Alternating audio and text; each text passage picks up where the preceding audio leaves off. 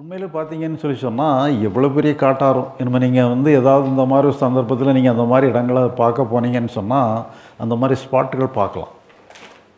அது சில இடத்துல என்னென்னு சொன்னால் அந்த ஆறு மாதிரி அப்படி ஒரு போகுது புயல் வேகத்தில் போகுது. சில இடங்கள் என்ன சொன்னால் என்ன எங்கே பார்த்தாலும் பாறைகள் இருக்கும்.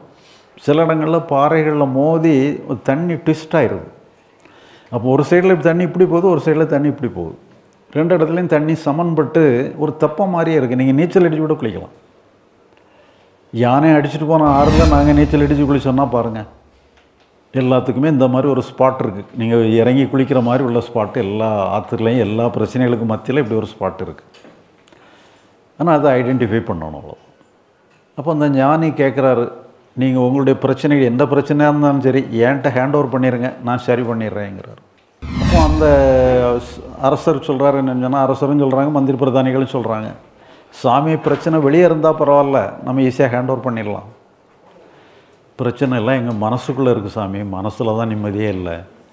மனசுக்குள்ளே இருக்கிற பிரச்சனையை எப்படி சாமி நான் உங்கள்கிட்ட ஹேண்ட் ஓவர் பண்ணுறது வெளியே பிரச்சனை இருந்தால் ஹேண்ட் ஓவர் பண்ணிடலாம். பிரச்சனை எல்லாம் மனசுக்குள்ளே இருக்குது மனசில் உள்ள பிரச்சனையை எப்படி ஹேண்ட் ஓவர் பண்ணுறது அப்போ அந்த ஞானி சொல்கிறார் சரி மனசுக்குள்ள பிரச்சனையை ஹேண்ட் ஓவர் பண்ணுற கஷ்டம்தான். நீங்கள் ஒன்றும் பண்ணுங்க. மனசுக்குள்ளே தான் பிரச்சனை இருக்குங்கிறதுல உங்களுக்கு சந்தேகம் ஒன்றும் கிடையாது. ஆமாம் சந்தேகம் கிடையாது. இப்போ மனசுக்குள்ளே பிரச்சனை இருக்குன்னா மனசுக்குள்ளே எங்கேயாவது ஒரு இடத்துல இருக்கணும். அது எங்கே இருக்குதுன்னு சொல்லி நீங்கள் உங்களுக்குள்ளே அதை லொக்கேட் பண்ணுங்கள் நான் அங்கேயே வந்து சரி பண்ணிடுறேன். இப்போ எல்லாருமே என்னென்னு சொன்னால் மனசுக்குள்ளே எங்கே தான் பிரச்சனை இருக்குன்னு சொல்லி மனசுக்குள்ளே லொக்கேட் பண்ணுறதுக்கு முயற்சி பண்ணுறாங்க பண்ணி பார்த்துட்டு என்ன சொல்கிறாங்கன்னு சொல்லி சொன்னால் சாமி உள்ளே பார்த்தா உள்ள ஒன்றையுமே காணுமாங்கிறாங்க ஒவ்வொரு தடவை நடக்கக்கூடிய நிகழ்ச்சியுமே வந்து நமக்கு ஒரு மெமரியாக ரெக்கார்ட் ஆகுது. அந்த மெமரியாக ரெக்கார்ட் ஆகிறது திருப்பி திருப்பி ஒரு ரெண்டு மூணு தடவை ரெக்கார்ட் ஆனனால அந்த ரெக்கார்டட் மெமரியே வந்து தான் உங்களுக்கு ரெக்கார்டட் மெமரிக்கு பேர் தான் மனசுங்கிறது. வேறு ஒன்றும் மனசுங்கிட்டாங்க ஒன்றுமே கிடையாது. இது பூதத்துக்கு மட்டும் இல்லை நமக்கும் அதான் கதை.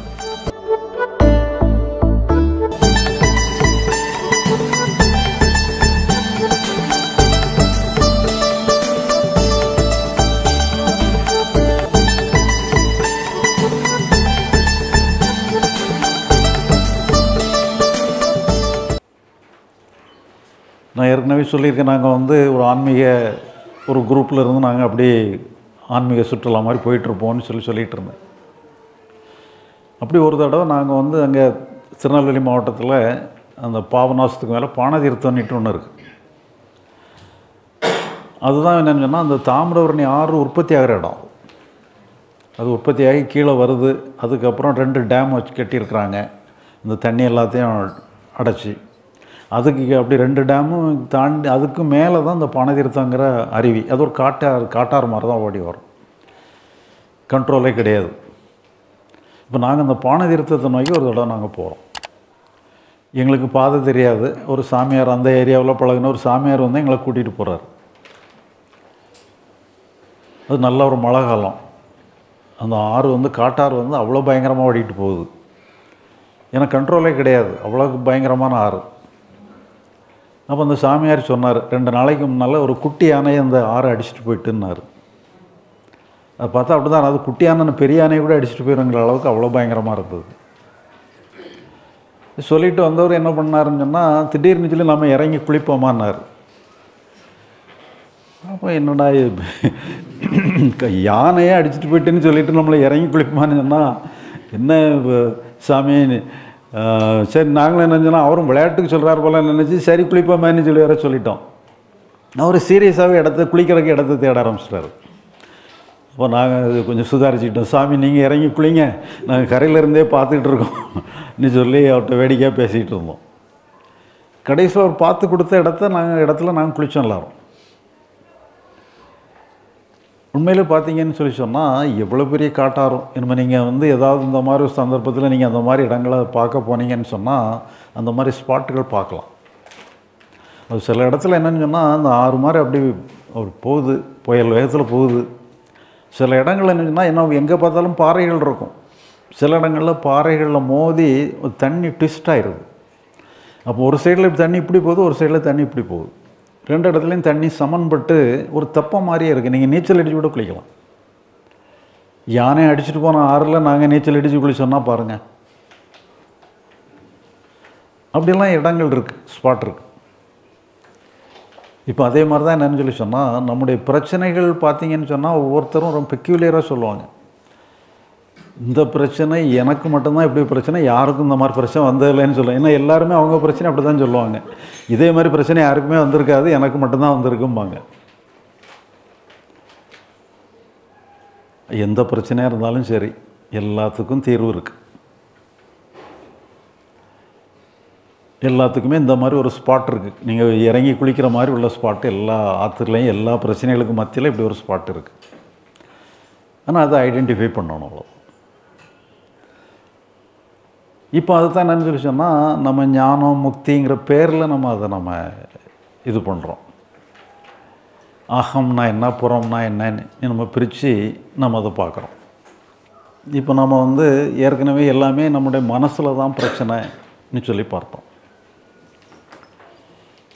மனசு ஓகேன்னா எல்லாமே ஓகே. மனசில் பிரச்சனை இருந்தால் பிரச்சனை இல்லாத இடத்துலையும் பிரச்சனையை ஆக்கிடுது இப்போ இதே மாதிரி தான் ஒரு ஒரு அரசவைக்கு ஒரு ஞானி வாராரு. அப்போ அவர்கிட்ட எல்லாருமே அவங்களுடைய பிரச்சனைகள் குறைகள் எல்லாம் சொல்கிறாங்க அப்போ அந்த ஞானி கேட்குறாரு நீங்கள் உங்களுடைய பிரச்சனைகள் எந்த பிரச்சனையாக இருந்தாலும் சரி என்கிட்ட ஹேண்ட் ஓவர் பண்ணிடுங்க நான் சரி பண்ணிடுறேங்கிறார்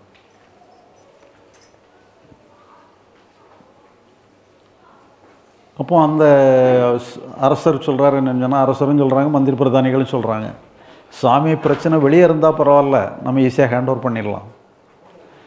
பிரச்சனை எல்லாம் எங்கள் மனசுக்குள்ளே இருக்குது சாமி. மனசில் தான் நிம்மதியே இல்லை. மனசுக்குள்ளே இருக்கிற பிரச்சனையை எப்படி சாமி நான் உங்கள்கிட்ட ஹேண்ட் ஓவர் பண்ணுறது வெளியே பிரச்சனை இருந்தால் ஹேண்ட் ஓவர் பண்ணிடலாம். பிரச்சனை எல்லாம் மனசுக்குள்ளே இருக்குது மனசில் உள்ள பிரச்சனையை எப்படி ஹேண்ட் ஓவர் பண்ணுறது அப்போ அந்த ஞானி சொல்கிறார் சரி மனசுக்குள்ள உள்ள பிரச்சனையை ஹேண்டோவர் பண்ணுற கஷ்டம்தான். நீங்கள் ஒன்றும் பண்ணுங்க. மனசுக்குள்ளே தான் பிரச்சனை இருக்குங்கிறதுல உங்களுக்கு சந்தேகம் ஒன்றும் கிடையாது. ஆமாம் சந்தேகம் கிடையாது. இப்போ மனசுக்குள்ளே பிரச்சனை இருக்குன்னா மனசுக்குள்ளே எங்கேயாவது ஒரு இடத்துல இருக்கணும். அது எங்கே இருக்குதுன்னு சொல்லி நீங்கள் உங்களுக்குள்ளே அதை லொக்கேட் பண்ணுங்கள் நான் அங்கேயே வந்து சரி பண்ணிடுறேன். இப்போ எல்லாருமே என்னென்னு சொன்னால் மனசுக்குள்ளே எங்கே தான் பிரச்சனை இருக்குன்னு சொல்லி மனசுக்குள்ளே லொக்கேட் பண்ணுறதுக்கு முயற்சி பண்ணுறாங்க பண்ணி பார்த்துட்டு என்ன சொல்கிறாங்கன்னு சொல்லி சொன்னால் சாமி உள்ளே பார்த்தா உள்ள ஒன்றையுமே காணுமாங்கிறாங்க. அப்போ அந்த ஞானி கேட்குறாரு இப்போ நீங்கள் தான் பிரச்சனை இருக்குங்கிறீங்க. இப்போ நீங்கள் தான் பிரச்சனை இல்லைங்கிறீங்க. இப்போ உண்மையிலே பிரச்சனைன்ட்டு ஒன்று இருக்குதா அல்லது இல்லையா? இருக்கிற பிரச்சனைக்கு தீர்வு கேட்குறீங்களா? அல்லது இல்லாத பிரச்சனைக்கு தீர்வு கேட்குறீங்களா? இப்போ பார்த்தீங்கன்னு சொல்லி சொன்னால் வெளியே உள்ள இடங்களில் பிரச்சனை இல்லை அவங்களால பிரச்சனை இல்லை இவங்களால பிரச்சனை மனசு தான் பிரச்சனைங்கிறோம். மனசுக்குள்ளே தேடி பார்த்தா அங்கே மனசுக்குள்ளேயும் ஒன்றையும் காணும். அப்போ உண்மையிலே பிரச்சனைன்னா என்ன? எது தான் பிரச்சனை? இந்த புராணங்களில் ஒரு கதை ஒன்று வரும். அதாவது இந்த அசுரர்களுக்கும் தேவர்களுக்கும் எப்போவுமே அவங்க சண்டை போட்டுகிட்டே இருப்பாங்க. அப்போ இந்த தேவர்களை எதிர்க்கிறதுக்கு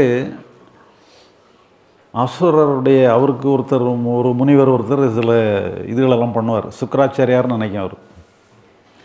அவர் வந்து ஒரு பூதத்தை கிரியேட் பண்ணுறார் தேவர்களுக்கு சண்டை போடுறதுக்கு. தேவர்களுக்கு சண்டை போடுறதுக்கு அந்த பூதத்தை கிரியேட் பண்ணி அனுப்புகிறாரு இந்த பூதமும் போய் இந்த தேவர்களெல்லாம் கடும்பாடுபடுத்துது. அதை யாராலையுமே ஜெயிக்க முடியல. அந்த பூதத்தை ஒன்றுமே பண்ண முடியல. அப்போ தேவர்கள்லாம் தோற்று போய் ஓடி போய் விஷ்ணுகிட்ட போய் முறையிடுறாங்க.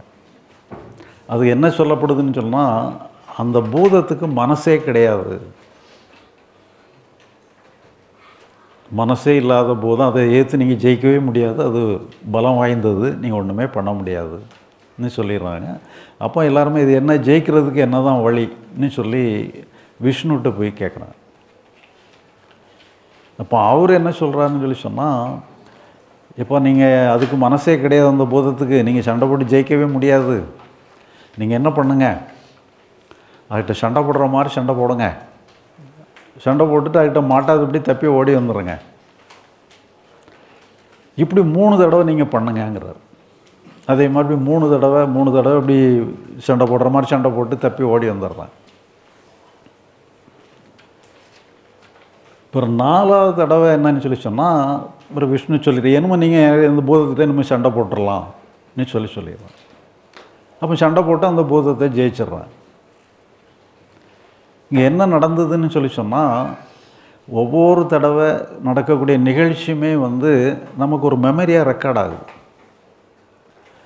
அந்த மெமரியாக ரெக்கார்ட் ஆகிறது திருப்பி திருப்பி ஒரு ரெண்டு மூணு தடவை ரெக்கார்ட் ஆனனால அந்த ரெக்கார்டட் மெமரியே வந்து தான் உங்களுக்கு ரெக்கார்டட் மெமரிக்கு பேர் தான் மனசுங்கிறது. வேறு ஒன்றும் மனசுங்கிட்ட அங்கே ஒன்றுமே கிடையாது. இது பூதத்துக்கு மட்டும் இல்லை நமக்கும் அதான் கதை. இந்த மெமரி தான் வந்து ரெக்கார்டு அந்த மெமரி தான் மனசேவே மாறுது. உண்மையிலே பார்த்தீங்கன்னு சொன்னால் அங்கே ஒன்றும் ஒன்றும் இல்லாத இடத்துல தான் இருக்கிற மாதிரி எல்லாமே நடந்துகிட்ருக்கு மெமரிங்கிறது எங்கே இருக்குது எடுத்து தர முடியுமா? யாருக்கா கொடுக்க முடியுமா? அது உள்ளே இருக்குது. சரி எவ்வளோதான் இப்போ எல்லாமே என்னன்னு சொல்லி சொன்னால் ஏதோ இருக்கிற மாதிரி இருக்குது ஆனால் அங்கே இல்லாத மாதிரி இருக்குது அங்கே செய்கிறதுக்கு அங்கே ஒரு வேலை இருக்கிற மாதிரி தருது இல்லாத மாதிரி இருக்குது இப்போ இதில் தான் என்னென்னு சொல்லி சொன்னால் நாம் சாமர்த்தியமாக எப்படி தான் செயல்படுறதுங்கிறது தான் நம்ம தெரிஞ்சிட வேண்டியிருக்கு.